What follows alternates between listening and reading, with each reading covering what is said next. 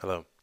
In this video tutorial, we'll take a look at how to add UG34 bolted covers to standard flanges in Compress Build 7600.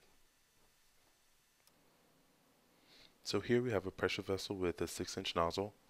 I will right click on that nozzle to edit it. And then I'll select the button to add a standard flange. So I'm going to go ahead and select the 300 class welding neck. I will specify the gasket material. And then I'll come over here and include this checkbox to include a blind. Um, so prior to compress build 7600, um, if we wanted to add a blind to a standard flange, um, the assumption was made that that blind would be a standard one. Uh, now, however, we do have the ability to add a UG34 bolted cover instead. So I'll go ahead and select that. And clicking next will activate uh, our bolted cover dialog. If you've modeled a bolted cover before in Compress, uh, then this is the same window that you saw then. Um, I'm going to assume the default values and click next and OK. And this brings us back to the nozzle dialog. Uh, from here, if we wanted to make any changes to our nozzle, we could do that. Otherwise, I'm going to select next and OK.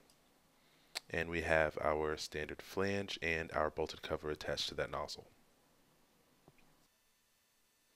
At this point, we can attach a nozzle to that bolted cover.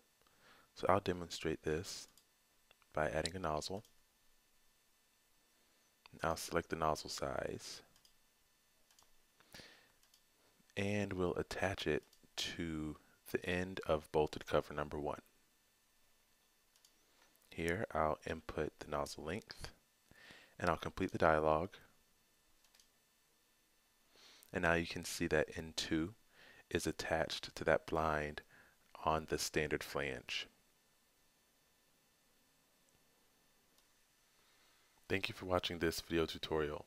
If you have any questions or would like to see a demonstration, please email sales at codeware.com or call 941 927 2670.